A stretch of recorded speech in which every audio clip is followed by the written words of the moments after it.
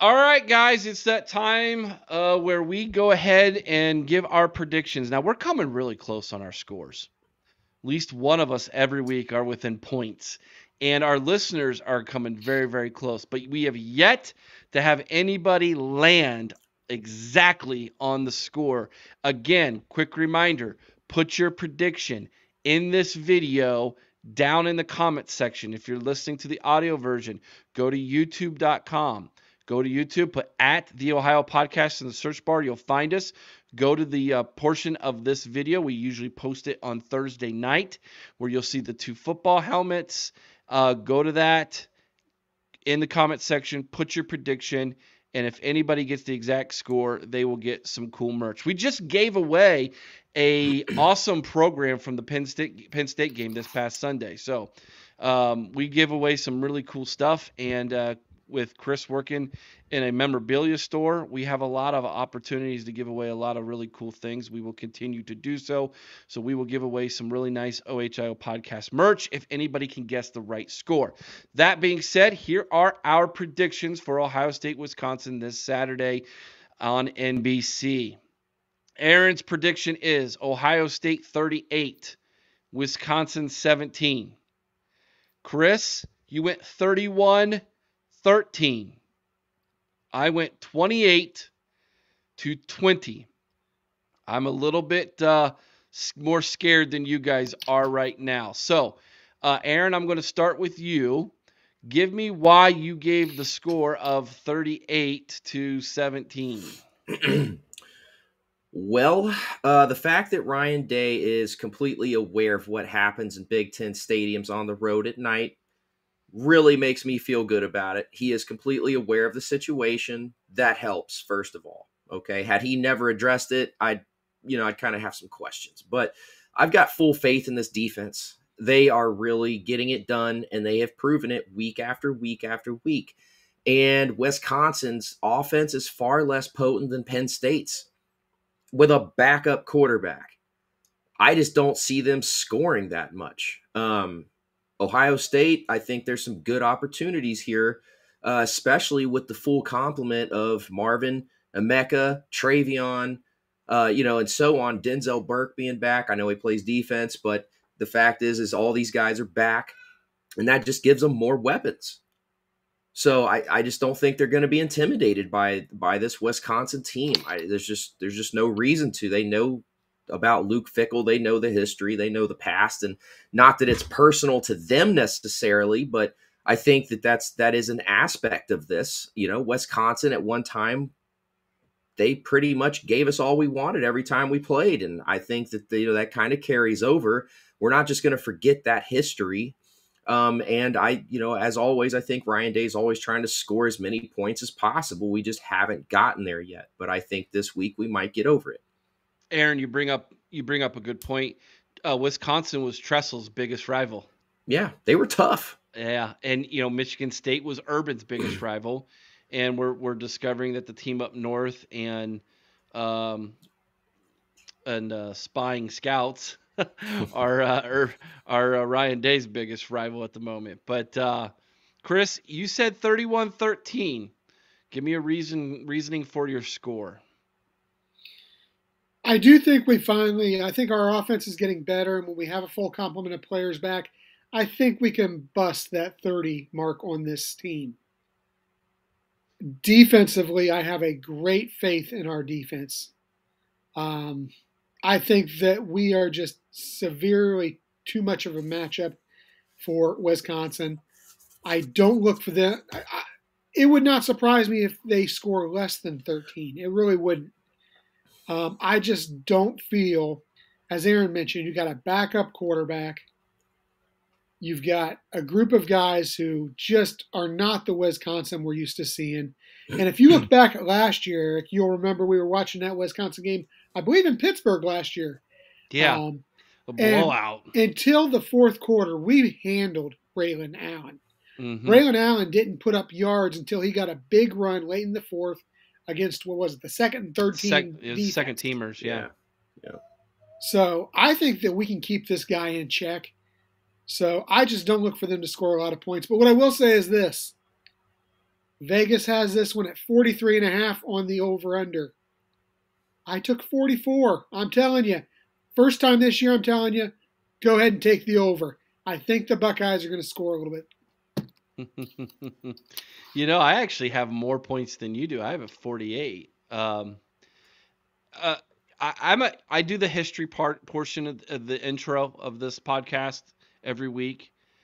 The fact that the last three times we've gone to Camp Randall, it's been an L and then a, a seven point win and a seven point win, has me a little bit um, scared. Um, I am more nervous uh, to just be straight up honest with you. I am more nervous about this game than I was last week with Penn State, and I don't know. Maybe it's because in all summer long, I had this one circled as a possible trap game, a game that scares me. I think Luke Fickell's going to do great things there. And even when I would express this to um, the Wisconsin fans and podcasters who we spoke to in our previews at the beginning of the season, uh, oh, late summer, they assured me that that's that it's that this is going to be a year or two rebuild for him. That although the cupboard wasn't bare, there's just not as much in that cupboard as I thought there was, in their opinion. Okay, um, the the injury to Mordecai is not as big of a deal, I think, as a lot of people thought it was going to be. Because number one, I don't think he performed at the level I thought he was going to. And number two, as Aaron pointed out in the video, this guy can throw a pretty good football. Now, will will Jim Knowles dial up some exotic blitzes he's not seen before? Maybe not a ton, but there will be some times some different looks than what maybe he has seen. Like Aaron said last week when we talked at halftime, how he was it was slanting the defensive ends and then bringing the linebacker up and around them on like a delayed blitz from the middle, and it just it rocked the quarterback from Penn State, Allar, it rocked his world, man. He was he was off his game from from the word go, and it really wasn't exotic. It was just different than maybe what he had experienced. I say all that to say this. If this game was played at Ohio State, I would give us a 20 point win. I think the Camp Randall effect is a solid 10 to 14 point swing. I really do. And the fact that it's at night and this is their Super Bowl and Luke, Luke Fickell has a huge chip on his shoulder, which we have not talked about yet, which we're going to do right now, has me at 28 20. That's why I'm a little bit closer in my score. Let's talk Luke Fickell. It is well documented that Gene Smith, when Urban Meyer stepped down, never called Luke Fickell to even talk to him about the possibility of coming back to his dream job. That is something that he wears on his sleeve. He doesn't talk about it personally, but I know from a fact through the grapevine that that really pissed him off. He wants this one. Does that take taking that into account? Does that help or hurt Wisconsin, Aaron? or does it matter? I mean, it plays a factor. You know, emotion is part of the football game. As much as we want to pretend it's not, it absolutely is. Just as much as something like momentum. And emotional play can go one of two ways it can hurt you it can help you. You know, when you get emotional on the field and you make poor decisions based on it, penalties start happening. Well, just on the other side of that, if you play inspired uh, the way that Luke Fickell likely wants them to play in this game, good things can happen. Look what happened with Penn or uh, Purdue uh, with uh, was it uh, Tyler Trent? Tyler Trent, yeah. Yeah, I mean it's you know there was a lot of they played that game with a lot of emotion and absolutely kicked our butt. So yes, emotion can definitely play a part in this. Um, as far as it hurting or, you know, I, it matters. I'll just say that it absolutely matters. Um, eh, but to be fair, the talent does too. You know, Purdue had some kids. Wisconsin's just got Braylon Allen. And I just don't think that's going to be enough. Chris, the Luke Fickell effect is in full effect for the first time since going to Wisconsin against Ohio State. Will it play uh, any? Does it play any at all in this game in your mind? I'm sure that it's going to have some effect, but I don't think it's enough to matter. I just look at this team, and this is a team that slid by a bad Illinois team last week. This is a Wisconsin team that scored six points versus Iowa, and Iowa's a pretty good team defensively. But I'm going to tell you what, from what I've seen are. this year, Yeah. but, what, but from what I've seen this year, I think we're better defensively than Iowa. So Argument can be you made. know, I- this is a team that I just don't think that Wisconsin has the studs that they need to overcome the talent that Ohio State has. I'm not worried about this game at all. Those guys can jump around till their little hearts are content up there. It's not going to matter. And you know what? They won't even be jumping around after the second quarter because Ohio State's going to have Wisconsin down by two touchdowns at that point. Technically, they don't jump around until after the third quarter. Well, then they're not going to jump around at all, Eric. if they got any fans in the stands left to jump around, Correct. I Aaron. just see it going that. really. Yeah, I, I Wait, just I'm don't. I don't feel it. I, I I don't don't feel it. I don't think that. As much as I love Luke Fickell as a coach, I just don't feel he's got the studs he needs to pull it off at this time. All right, last question, fun question, guys. All right, here we go. The jump around tradition, cool or stupid? Aaron, Stupid. Chris.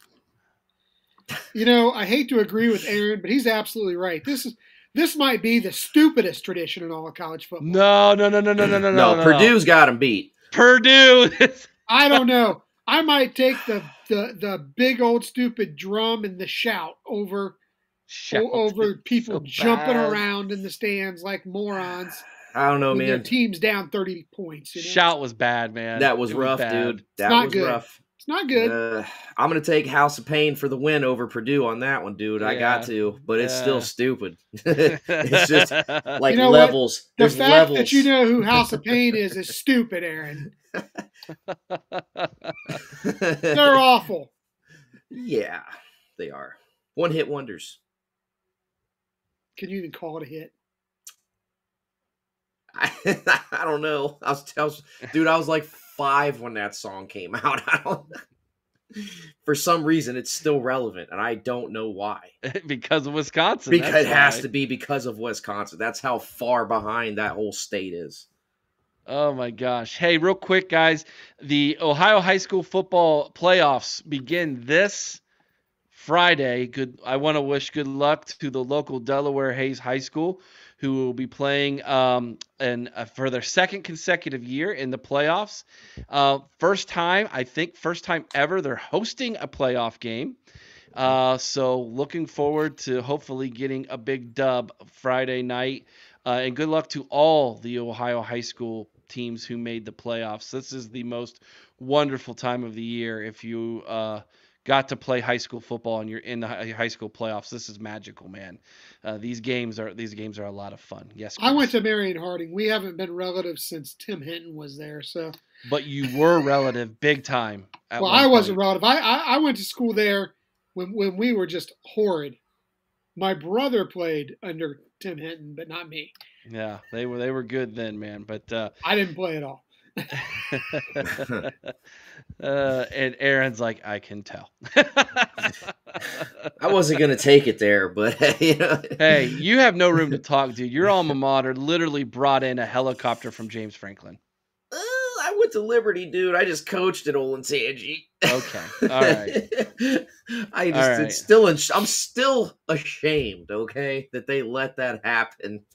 Oh my gosh, that's so Ah. hilarious. I still can't get over that. That's so ridiculous. Can you imagine Ryan Day doing that? He'd be like, "No, come on."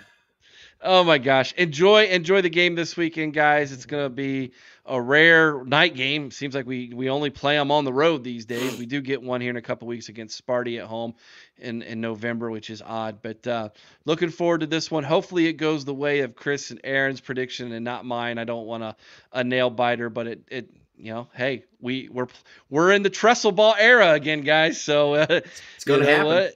it could be a nail biter and good old defense win us the football game again. All right, please like, share, subscribe. It really does help the channel. We really do appreciate that. Please share this with all your good Buckeye friends. Let them know about the OHIO podcast. We go live every Sunday night, eight o'clock Eastern. Make sure you're there for that. Be a part of those great shows. We will review this game this upcoming Sunday night live on Facebook, YouTube, and on Rumble. Again, eight o'clock Eastern. Until next time, be kind to one another. I owe someone's OH to sing Carmen, Ohio with all your heart. OH. IO. IO. Go